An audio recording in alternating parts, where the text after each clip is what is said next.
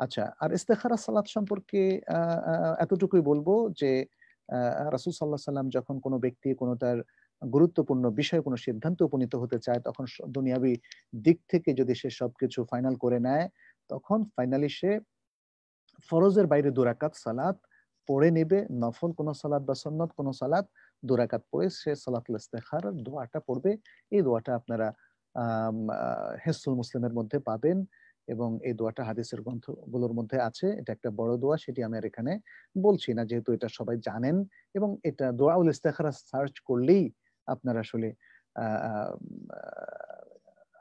মানে এই ইন্টারনেটের মধ্যে সেটা চলে আসবে। তো সুতরাং আমরা মোটামুটি ভাবে সতুল হাজা এবং ইস্তেখারা সম্পর্কিত সারা বিধান জানতে পারলাম। তারেক হাসান বলছেন